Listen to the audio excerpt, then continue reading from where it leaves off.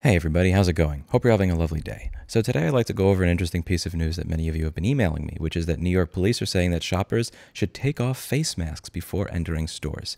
Now there are multiple layers to this story, so you're probably going to want to listen to the entire thing before you come up with your thought on it. It says that masks, once an essential COVID protection measure, are now being worn by criminals to conceal their identities, according to New York police, who are urging businesses to unmask customers before letting them enter stores. And the case that they're talking about here is after a masked criminal entered a Queens jewelry store and made off with about $1.1 million in property after beating a 79 year old woman who was watching the store. Since the pandemic, this is a way of life for us, when people wear masks regularly, but we're seeing this used too much as a ruse to enter businesses and to victimize our businesses, Maddrey said. He added that businesses can permit customers to don their mask after they have identified themselves. It can be a condition of entry that a mask is removed, and once the person is identified, they can put their mask back on for safety.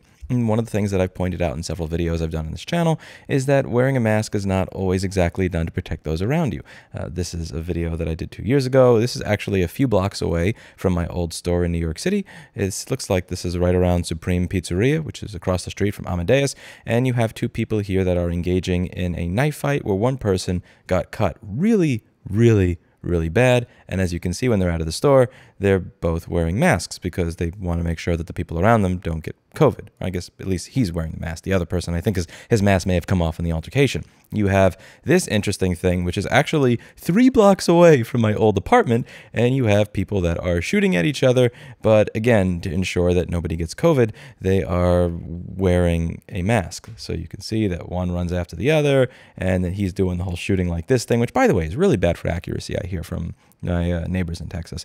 But you could see that they are all wearing masks to ensure that nobody around them gets COVID. So there are many reasons that people wear masks, and they are not always exactly to protect others. And this does seem like something that makes sense to propose after you notice this weird pattern that several years after vaccines are available and many people have gotten COVID and gotten over it, the people that tend to be the ones doing the robberies tend to be the ones that are wearing a mask and exploiting the fact that COVID normalized wearing a mask. However, this is something that really does require another level to the conversation. Is this actually about preventing crime, or is it about allowing the NYPD and private businesses to make use of facial recognition cameras and software, which have been being, in my opinion, severely abused by several businesses? Over here it says NYPD can use more than 15,000 cameras to track people using facial recognition in Manhattan, the Bronx, and Brooklyn. And while I don't particularly wear a mask anymore, again, I wore a mask back in, I believe, early March of 2020, all the way up until summer of 2021 after I had already gotten COVID once and gotten vaccinated. I had no problem wearing a mask. The, the issue here is the facial recognition. I, I don't think this is necessarily about crime all the way, so much as it is about private businesses and the city and the state spending insane amounts of money on facial recognition cameras, facial recognition software, and computers powerful enough to parse through this type of stuff very quickly, Oreo, and it being undermined by this 50 cent thing that you put over your face.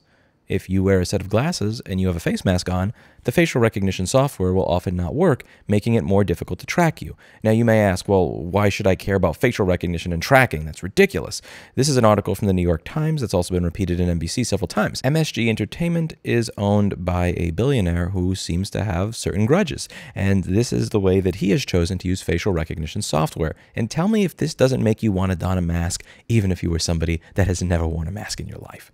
Kelly Conlon, 44, a personal injury lawyer from Bergen County, New Jersey, was chaperoning her nine year old daughter's Girl Scout troop on a trip into Manhattan to see the Christmas Spectacular at Radio City Music Hall. Before she could even glimpse the Rockettes, however, security guards pulled Miss Conlon aside in her New York jaunt and took an Orwellian turn. They told me that they knew I was Kelly Conlon and that I was an attorney, she said this week. They knew the name of my law firm. The guards had identified her using a facial recognition system. They showed her a sheet saying she was on an attorney exclusion list created this year by MSG Entertainment, which is controlled by the Dolan family. The company instituted this ban this summer not only on lawyers representing people suing it, but on all attorneys at their firms. The company says litigation creates an inherently adversarial environment And so it is enforcing the list with the help of computer software that can identify hundreds of lawyers via profile photos on their firm's own websites using an algorithm to instantaneously pore over images and suggest matches. Facial recognition technology is legal in New York today, but lawyers have sued MSG Entertainment saying the exclusion list is forbidden. The use of facial recognition technology to enforce it has raised an outcry not just from people turned away from Knicks games, but from civil liberties at watchdogs who called it a startling new frontier that demonstrated why the federal government should regulate the technology. It's a dystopian, shocking act of repression, said Sam Davis, a partner at Miss Conlon's firm, who was turned away from a Rangers game this month at the Garden. So you could not even be an attorney that is working on this case. Simply because you work for a company I dislike, you are now recognized immediately and kicked out of the business. Now, technically, this is a piece of private property. Now, one of the state senators here did manage to get in a good jab at the Dolan family here. They said that this is their private property. They have the right to choose who is allowed and not allowed on the property. If it's your private property, perhaps you should be paying property tax, it is, Hoylman-Sigal said, a state senator that point taken. But in all seriousness here, technically, it is your private property.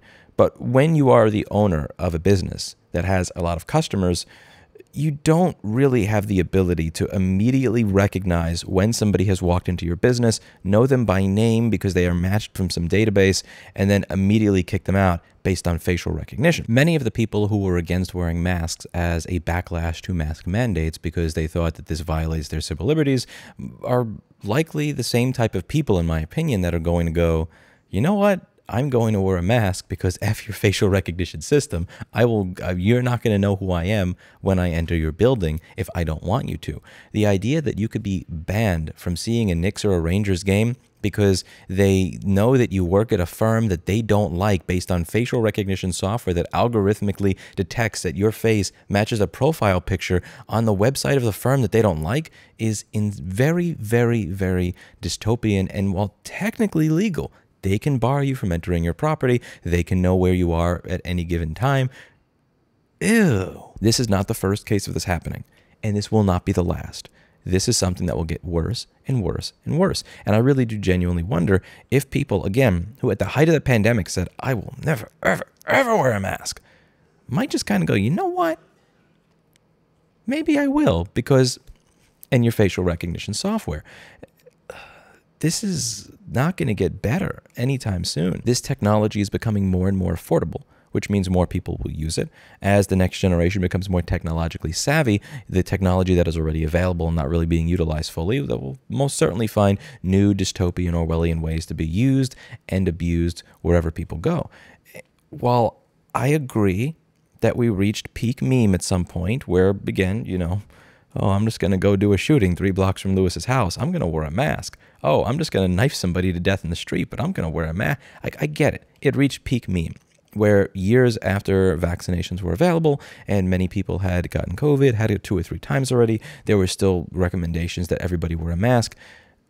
You have to understand here that this is not just about stopping crime. While a lot of that was a meme, I hope you guys can see the flip side of this, which is that crime is being used as a boogeyman to get people to comply with use of facial recognition software in a manner that makes it more effective. This stuff costs an insane amount of money to implement all over the city, and it's being defeated with glasses and 50 cents. And while facial recognition software is something that may make it helpful to catch criminals, it's also something that can make it helpful to keep you from taking your nine year old to see the Rockettes because you work at an employer that the owner of the stadium doesn't like.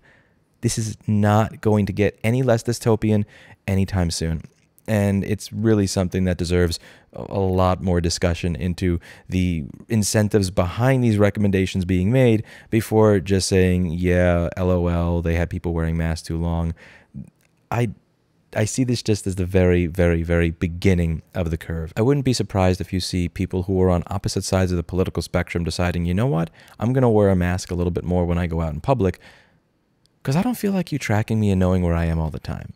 Like, is it okay for me to walk into a Sweetgreen or Mazzetto or a Duane Reade or a Walmart without you knowing that I went there? Like, I get it. I get it. You could look at credit card records and this, that, or the other. But, like, do you really need to know where I am and log it every second of the effing day? No. I honestly think, if anything, more people are going to be wearing masks into the future. Because this, oh, it's just weird. Like, my employer doesn't like you or you don't like my employer, so I, I can't go to see a Knicks game. Like, really? Really? Yeah, it's their private property. It's their private property, but you know 10 years ago this was not the way most of this worked. And it's not going to get any better anytime soon. Let me know what you think in the comments down below. That's it for today. And as always, I hope we learned something.